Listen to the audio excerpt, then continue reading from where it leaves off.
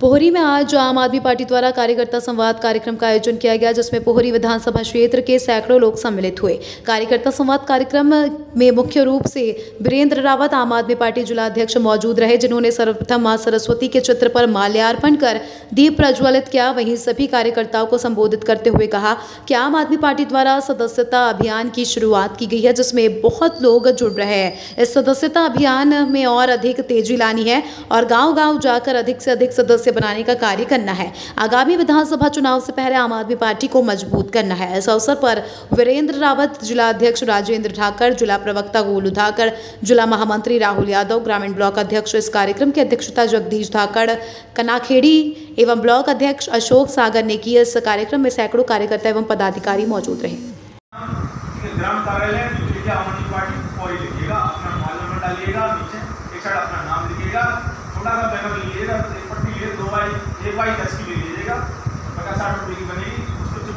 आप आपके गाँव के केजरीवाल के नाम से जानने चाहिए।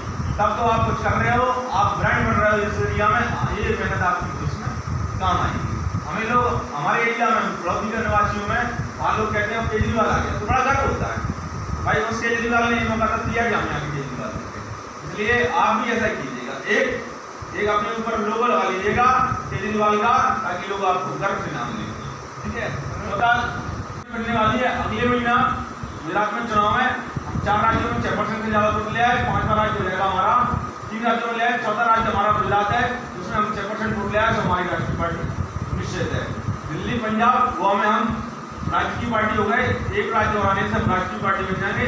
राष्ट्रीय पार्टी से फ़ायदा ये होगा कि क्षेत्रीय पार्टियाँ, क्षेत्रीय संगठन है, वो अपने पार्टी में विलय हो जाएँगे। तो हमारी ताकत बढ़ जाएगी। आज आप गुजरात का सब उठा लीजिएगा, मैं आपको अभी ग्रुप में डालूँगा। वहाँ, हम बहुत अच्छी स्थिति में हमें वहाँ थर्टी फाइव परसेंट वोट चाहिए। हम कोई सर्वे वाला हमें फिफ्टी वन बता रहा है, इक्यावन परसेंट बता रहा है, कोई सर्वे वाला हमें सत्तर परसेंट बता रहा है।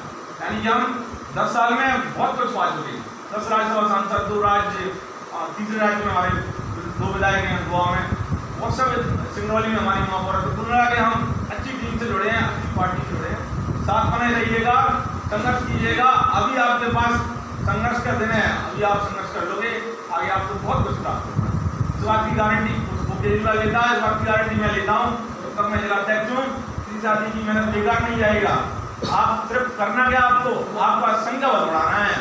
आपको ये सीट है, एक चाहिए, दो चाहिए, इतना ले जाइएगा। एक रजिस्टर भी रखिएगा। रजिस्टर में आपके जो साथ हैं, चाहे ग्राम समिति गाँव के लोग हों, चाहे वार्ड वार्ड के लोग हों, चाहे विधानसभा के लोग हों, उनका आप डेटा रखिएगा। जिसके पास जितना डेटा होगा, वो हमारे लिए चुनाव नेता होगा। और